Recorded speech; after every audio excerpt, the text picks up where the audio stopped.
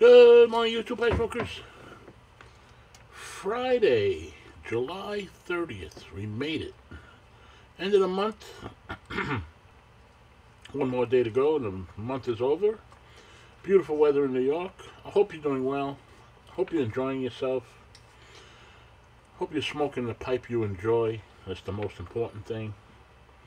Whether it's $10 or $1,000. Doesn't matter. Don't let anyone ever make you feel differently. You build most of the traps that you get into. I can't means I won't. To see takes time. A kind word goes a long way.